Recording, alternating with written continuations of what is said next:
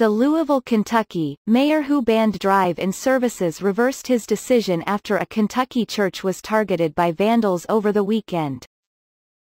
Mayor Greg Fischer and On Fire Christian Church announced Tuesday that a deal had been reached.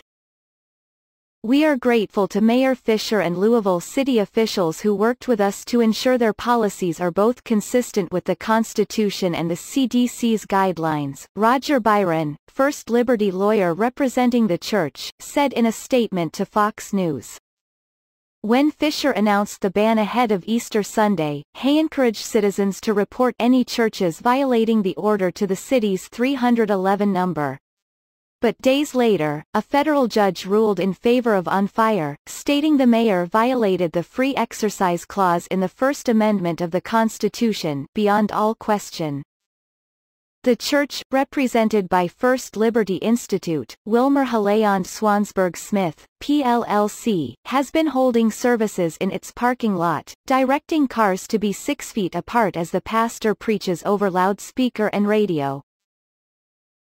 After Sunday's service, when the On Fire congregation was met with nails at the entrances and exits of the church parking lot, the services are now supported by Fischer.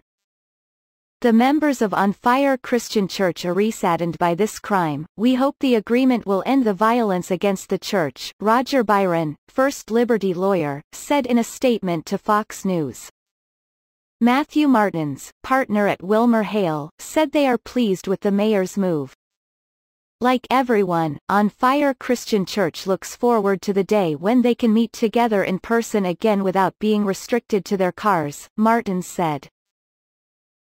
In a similar case, three churches in New York sent a letter to their county on Wednesday asking officials to reverse a drive-in services ban.